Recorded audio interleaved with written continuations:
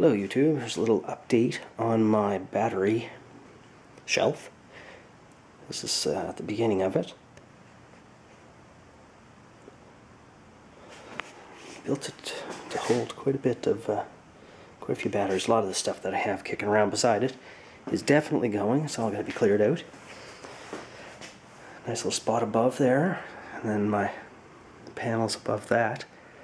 But I'm going to set up all the solar and hopefully in the future wind right along the wall there. So I'll put my inverters and such right above it. I also found uh, some wire here. It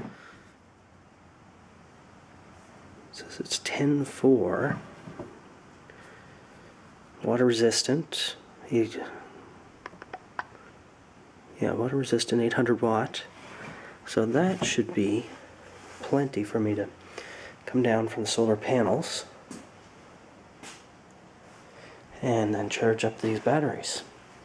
So right now I have four of them there. I've got another four to put on the top. And you're looking at, uh, with both of them, that's 800 pounds of battery. I know it's not a very pretty shelf, but it'll do the job. And I'm not going for pretty here. Alright, here's the two bus bars. See, this is my before. I drilled all the holes so that I can attach into each one of the batteries. And on the end, I put a post so I can tie it into the uh, charge controllers. Now, that was the before. This is what it's going to look like after.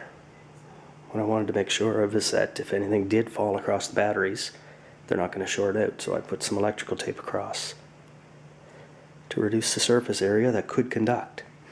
One thing I did notice, these are aluminum bars, and I did notice there was a coating on them. I took a multimeter and just tried to meter everything out. I noticed through the holes I was getting a good, a good reading, but uh, from the top of the bar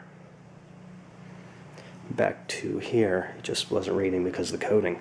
So to get a good connection on the battery, I scuffed it down a bit with a uh, sanded it down, ground it down a little bit with a grinder. So my next one, I'm going to uh, take this one, wrap the electrical tape around it, and then that'll be time to hook up to the batteries. Alright, I've got them all connected up with the bus bars.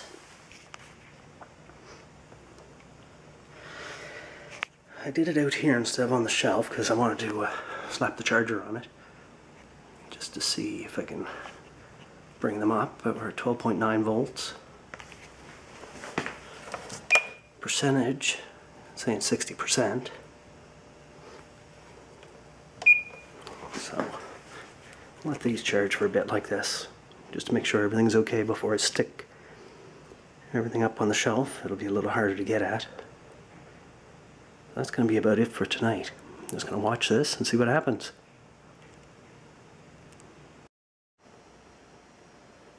So we're sitting at 14.24 volts.